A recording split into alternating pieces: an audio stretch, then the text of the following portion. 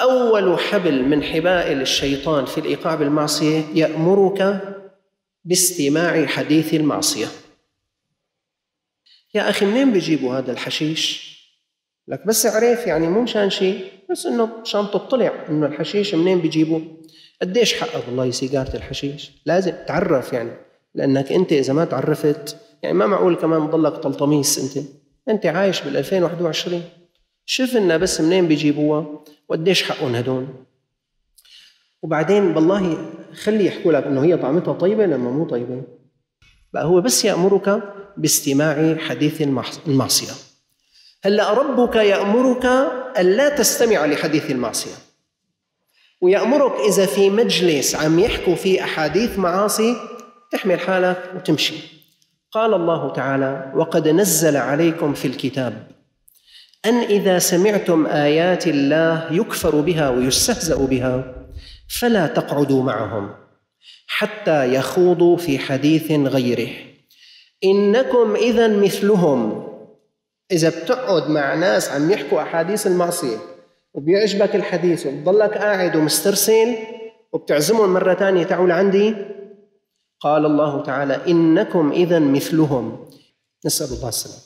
فأول حبله يا إخوان يرميها الشيطان في معركته معك من أجل أن يوقعك في المعصية أن يأمرك باستماع حديث المعصية. هلأ لا سمح الله إذا الواحد مشي بهالطريق وصار يسمع أخي معلش واحد بيتثقف وبيعرف وشو بصير يعني شو حياكلوني؟ الله وكيلك عندي عقل بقد بلد بيوزن بلد والله ما حدا بيقدر يأثر عليه. يرمي له الحبل الثاني يأمره بالنظر إلى المعصية وأهلها. أول شيء سمع بعدين بيقول له أخي روح شوفهم يعني هدول لما بيشربوا حشيش. يعني شو شو بيصير والله قال بيزهزهوا شو يعني بيزهزه؟ تعال فرجيك واحد عم بيزهزه. هات بالله خذني لعند واحد مزهزه. مو مشان شيء بس لنشوف يا أخي. اي شو بده يصير يعني إذا شفته أنا وإذا شافني؟ أنا أعوذ بالله والله ما بقرب على الشغلات. بس بشوف. يعني مشان اطلع مشان اتثقف فالشيطان بيزت لك هذا الحبل النظر إلى أهل المعصية. والله عز وجل يقول قل للمؤمنين يغضوا من أبصارهم. يغضوا من أبصارهم عن شو؟ عن كل ما حرم الله تعالى. كل ما حرم الله تعالى عليك غض بصرك عنه. بل كل ما كرهه الله تعالى غض بصرك عنه. دع قلبك هذا الذي اشتغل بالذكر يرى أنوار الله تعالى. شو بدك بالمعاصي؟ شو بدك بالنظر إلى أهل الفجور؟ وشو بدك بالنظر إلى مواقع الرذيلة والفاحشة؟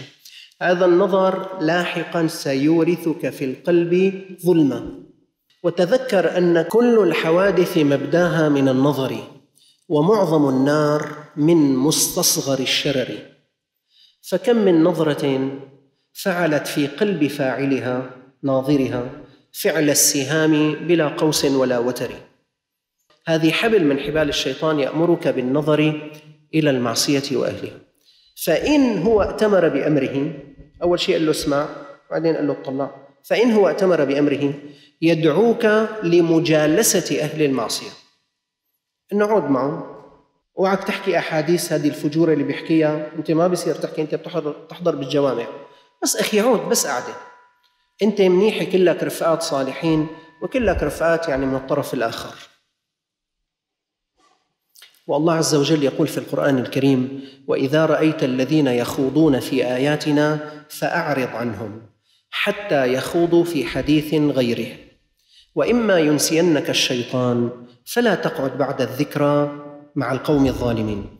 لا سمح الله لا سمح الله إذا كنت مو منتبه كنت تعمل جلسات وتقعد مع أناس يظلمون أنفسهم ويخالفون أمر الله وهلا سمعت هذا الدرس فلا تقعد بعد الذكرى مع القوم الظالمين. يخشى أن ترفع تقارير وسترفع إلى رب العالمين مين قاعد بهالجلسه التي كان فيها هذه المعاصي. معقول يرفع التقرير عنك إلى رب العالمين بأنك جالس مع من يغضبونه؟ يأمرك بسماع الحديث ثم بالنظر إلى أهل المعصية ثم بمجالسة أهل المعصية. رقم أربعة يأمرك بتمني المعصية. بعد ما سمع وشاف وقعد مع أهل المعصية بصير بيقول والله يا أخي نيال والله شيء حلو حاسك حاس لك إياهم مبسوطين. حاسس لك إياهم هن اللي عايشين بهالدنيا. يا ريت يصح لي اللي صح لهم. يا لطيف. وتمني الكفر كفر. وتمني الضلال ضلال. وتمني المنكر منكر. قال رسول الله صلى الله عليه وسلم إذا عملت الخطيئة في الأرض كان من شهدها فأنكرها كمن غاب عنها. ومن غاب عنها فرضيها كمن شهدها. في واحد مو قاعد معهم بس قال نيالهم حلال عليهم. والله هن اللي عايشين بهالدنيا هن عرفانين يدبروا حالهم. قال إذا واحد غايب عنهم ورضي كأنه قاعد معهم. ومرات واحد بسبب من الأسباب بيكون جالس بالمكان وهو لا يريد أن يجلس. بس محكوم بأن يجلس لكن قلبه ينكر هذه المعصية. قال كان من حضرها فأنكرها كمن غاب عنها. رقم خمسة. بعد ما سمع ورأى وجالس وتمنى هلأ صار استوى. يأمره الشيطان بفعل المعصية. صار جاهز هذا العبد ليفعل المعصية.